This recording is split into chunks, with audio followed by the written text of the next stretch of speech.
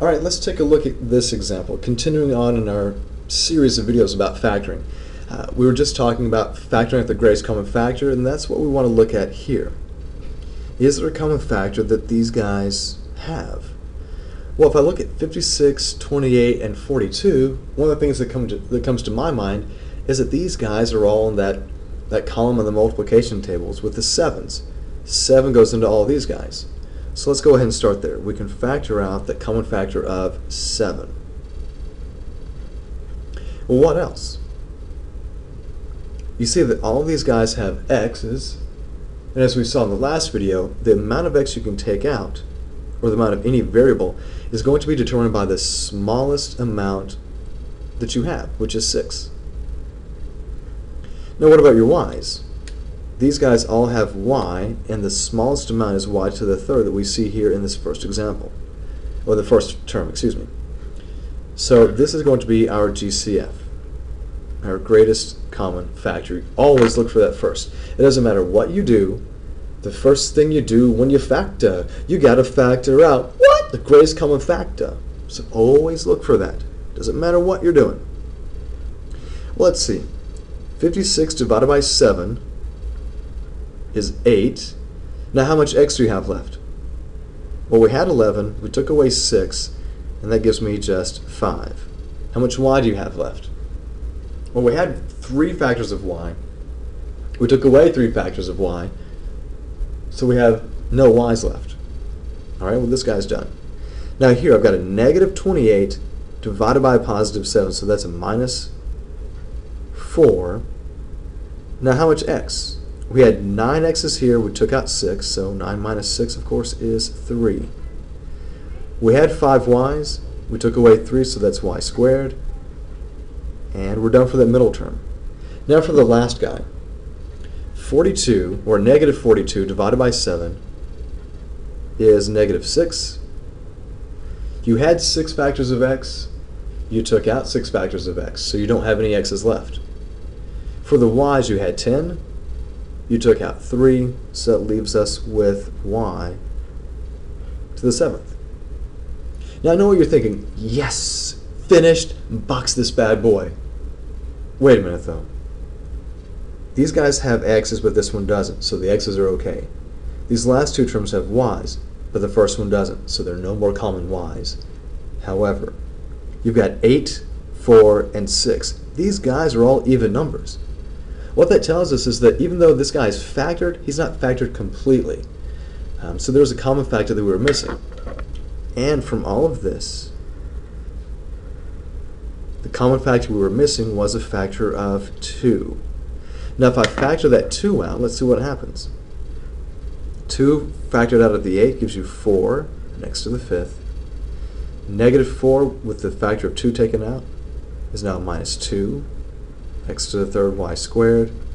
Negative 6 factored out from the, factoring the 2 out gives you negative 3 y to the 7th. So we already had what we thought was a greatest common factor, which, well, we were wrong about that, weren't we? And by we, I mean you, because, hey, I, I made this problem up, so I knew what was going to happen, right? Like I ever make mistakes. Just don't watch all of my videos because you'll find mistakes. So, challenge for you, I guess. Well, what am I going to do? This guy's another greatest common factor. He was missing this factor of 2. How do I put those guys together? Well, remember, we're talking about factoring. We're talking about rewriting using multiplication. This is multiplication here. When I factored out the 2, that was multiplication. So when I missed that common factor of 2 here, that really should be multiplied with this to get my true common factor. So 2 times the 7 is 14. And there's x to the 6th, y to the 3rd, and then what's left inside is what we have right here, all of that stuff.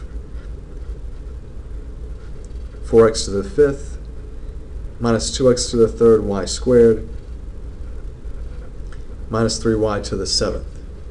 So we took out a 7, we took out a 2, so that really meant we took out a 14? Is, is that real? Excuse me. Well, 14 times 4 gives you 56. 14 times 2 gives you the 28. And then 14 times 3 gives you the 42. So 14 is one of those guys you're probably not going to see right at the very beginning as being the greatest common factor. But it is there. So now we are finally done with this problem. So this one was a little bit more challenging. Okay. Let's, let's work through a few more examples, some things that you need to see so you can be familiar with them. And one of those is a problem like this. Say negative 2x squared plus 5x um, minus 12. Now, at first glance, there's not anything you can do to this problem. But there is. Uh, now, I'm very anal about the way that I do certain things, and I hope that you develop that same sense of things have to be just right. You'll notice here that this guy leads off with a negative. Now, normally that's not a problem, but what you're going to find out is that in terms of factoring, negatives at the beginning don't really help us out. They kind of get in the way, and it doesn't allow us to do all the fun things we usually do. So I'm going to take out this negative because it leads off with a negative. And when I say it leads off, talk about lead coefficient, your polynomial needs to be in descending order, highest exponent down to your constant, or whatever happens to be. If you lead with a negative, you really want to factor out that negative. It'll make your life a lot easier. So I'm just going to factor out a negative 1. And when you factor this out, you're really just changing the signs of everything. So it becomes a positive 2x squared this was a positive 5, but if you divide it by negative 1, that gives you negative 5x. And negative 12, when you factor out that negative, becomes a plus 12. Now later on, we would see if there's more that can be done with this guy, but right now we're just looking at taking out the greatest common factor. And so what I was trying to show you here is to just take out a common factor of negative 1 if you lead with a if you lead with a coefficient that's negative. Alright, well, let's try something else. For some reason, my students have severe difficulties when handling a problem like this. x to the 25th, y to the 51st, plus x to the 42nd, y to the 38th. I mean, it seems simple enough. You just have two terms. They both have x's and y's, it's going to be about determining what is that greatest common factor. Well, in terms of the coefficients, they're just 1, so the common factor of 1 doesn't really help us out. But notice that they both contain x. And as we've already talked about, the amount of x that you can pull out of everybody is limited by the smallest number, in this case the 25. Notice they both contain y's, so the amount of y that I can factor out of both is determined by the smaller of these two numbers, in this case the 38. So there's my 38.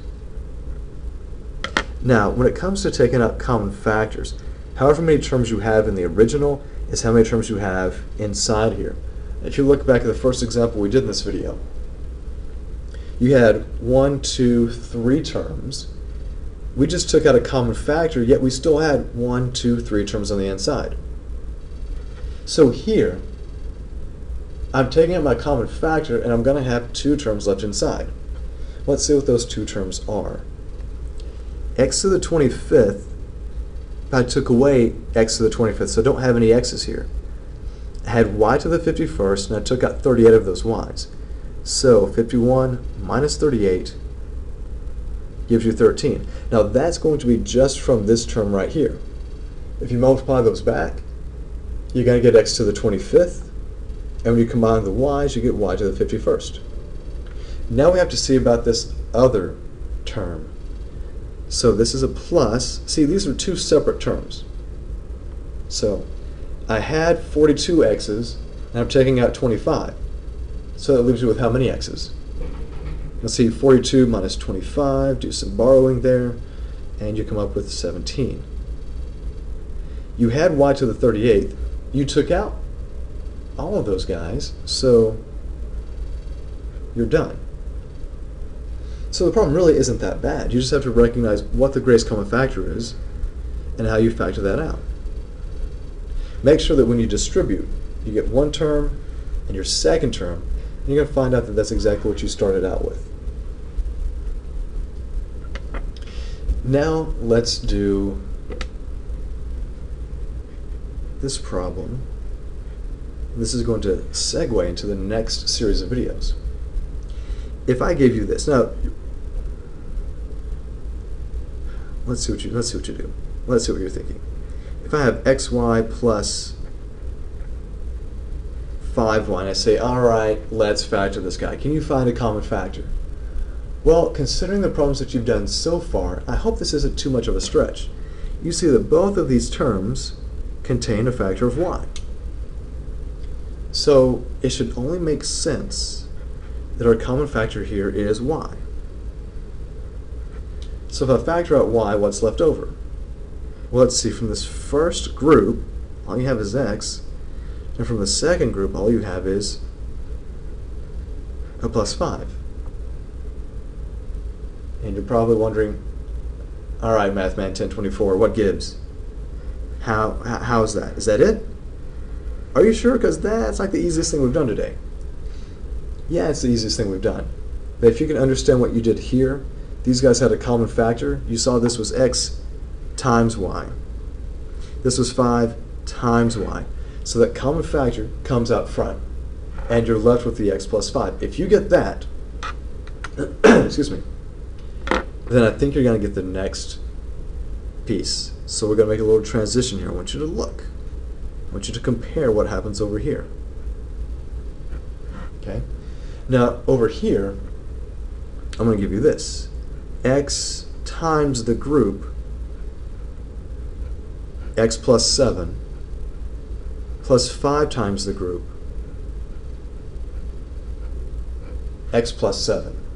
Now, I maintain that these problems are pretty much the same. I've just changed some of the numbers from one to the other. You may say, why are these the same? Well, you agreed with me that y was a common factor here because you saw the multiplication that was implied. Well, over here, I've got x times that group, 5 times that group. This group, this x plus 7, is my common factor.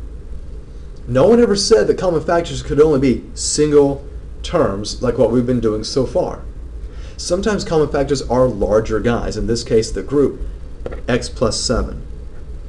So what I'm going to do is I'm going to factor out this group, I've got to use parentheses here, I'm going to factor out x plus 7.